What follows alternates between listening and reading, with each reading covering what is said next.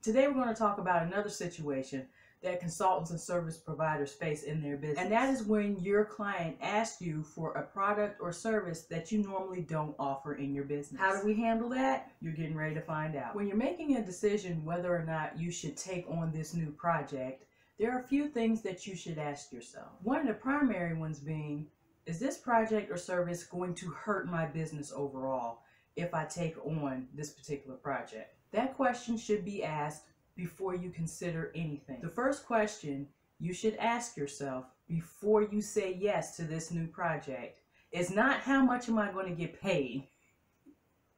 That's important, but that's not the best question to hang your decision on.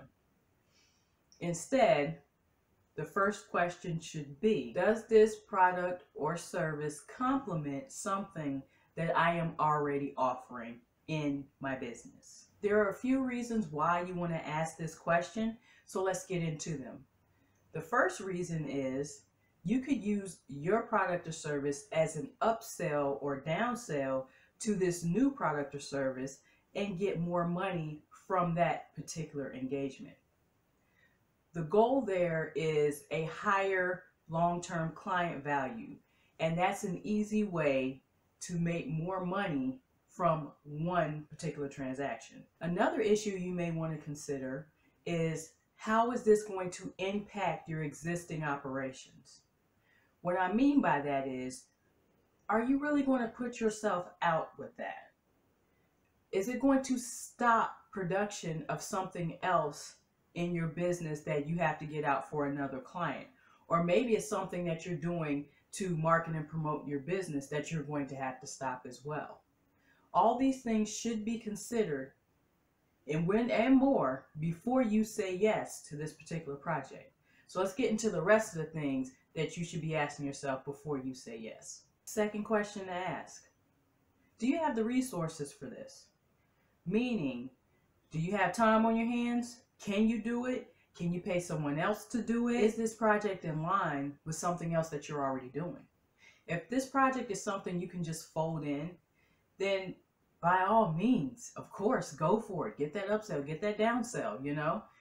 But if it's something that you're going to have to stop, put together a new set of processes for just to get it done, then you may want to take that into consideration.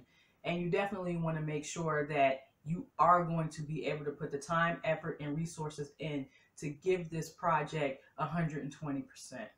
If you are ever in a position where you feel like taking on the project is going to cause you to deliver a low quality product or service, just say no. That will hurt you in the long run more than anything else. Next question you should ask yourself how much money are you going to make off of this project? Not what they're going to give you for the project. After you take away the costs associated with building, designing, creating, delivering that product or service, what do you have left? If that number looks great to you and all other things that we've considered so far are in line, then jump on it. If not, I would let it go. Next question. Is this something that you're considering offering in the future? Reason why I ask this is because if you're considering offering this in the future, then by all means, you should take the time and build the processes around it and execute this project to the best of your abilities to give this customer an excellent client experience. In addition, while you are putting this project together, you could also have things going in place to help you get the marketing and promotion around this new product or service that you're going to be offering going forward in your business.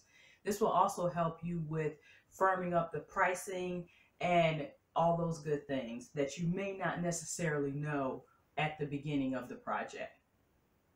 The final question you need to ask yourself Do you know how to do this at an intermediate level at least?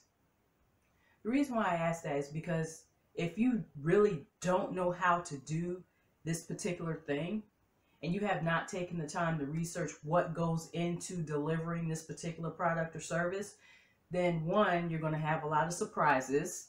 Some of them you'll be able to weather without a problem. Some of them could possibly bring your business to a halt. When you're taking on these new products or services, before you even begin, before you say yes, you need to take a moment to go out and research and find out exactly what is required to create and deliver this product or service to your client. This is important because we have a responsibility to our existing clients that we've built a relationship with to deliver a product or service that is quality and going to help them grow their business.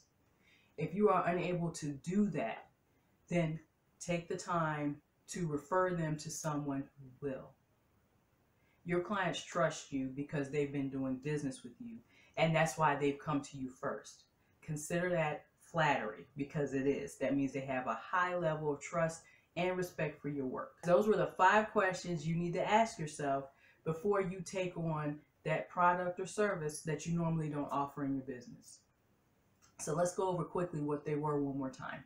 Number one, is this product or service going to help your business or is it going to cause problems?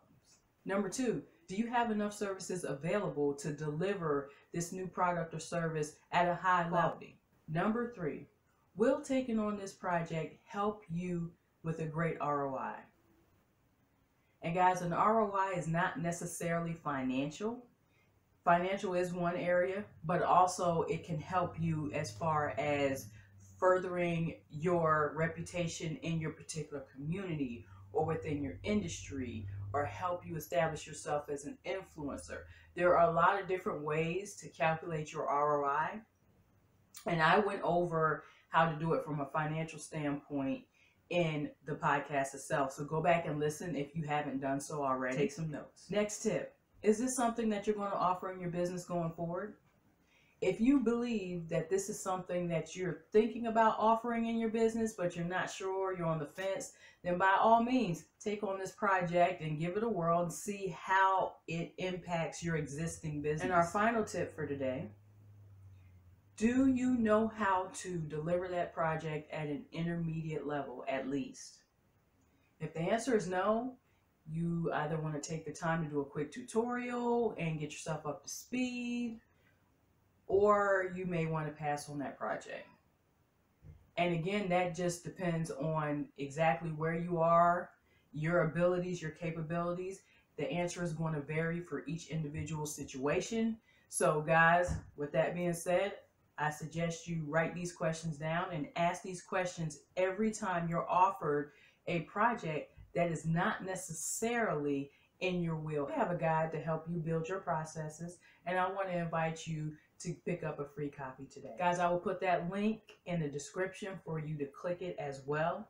Thank you for your support. And if you got value out of this podcast today, I encourage you to invite your friends, family, or anyone that is running a small business to join us every Tuesday. We have a new episode, so please subscribe. Let everybody know. Again, I want to thank you for your support. My name is Tamara Corporal. I am the CEO of AccuFigures here in Tampa, Florida. Uh, we are a digital consulting firm that helps consultants and small business owners deal with situations such as process development, online web presence builds, video editing, and so on and so forth. So thank you for your time, and I'll see you guys on Tuesday.